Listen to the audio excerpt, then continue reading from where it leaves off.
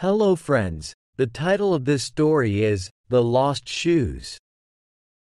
Hersh was a messy boy who never used to keep his things in right place.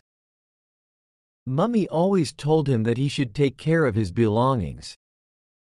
But he never hear Mummy's advice.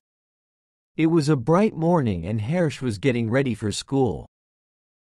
He was super excited for school today as there was a school picnic today after getting dressed up, was all set to go to school. So he looked for his shoes and they were not in the rack. He looked for them under the bed, but they were not there.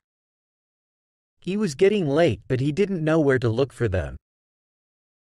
Mom was upset with his reply and said, Oh dear, if you will not take care of your belongings, then you will lose every opportunity of your life. See how will you go to picnic today without shoes? The school bus was now standing at the doorstep, but Hersh had no shoes. Sadly, Hersh missed the bus. Hersh remembered that after the school he was playing in the park and he put off his shoes there to climb a tree. Mom, I think I have left my shoes in the park, replied Hersh. Suddenly the doorbell rang and Papa came home. Hersh saw Papa was holding Hersh's shoes. Papa smiled and said, I saw your shoes in the park during my morning walk. Don't be so careless again. Seeing this, Hersh jumped with joy. Oh, my shoes, my shoes. See, Mama, Papa got my shoes from the park.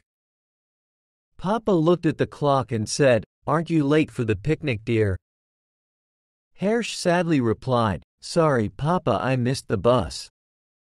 Papa said, Oh, I think we are not that late. Come, let's catch the bus. Hersh quickly wore his shoes and Papa started his scooter. They caught the bus in the next stop. That day after enjoying his picnic, Hersh promised his parents that he will always take care of his belongings and will never repeat this mistake again. The lesson we should learn from the story is that we should keep our things in their right places and take care of our belongings. Otherwise, we can lose big opportunities in life also.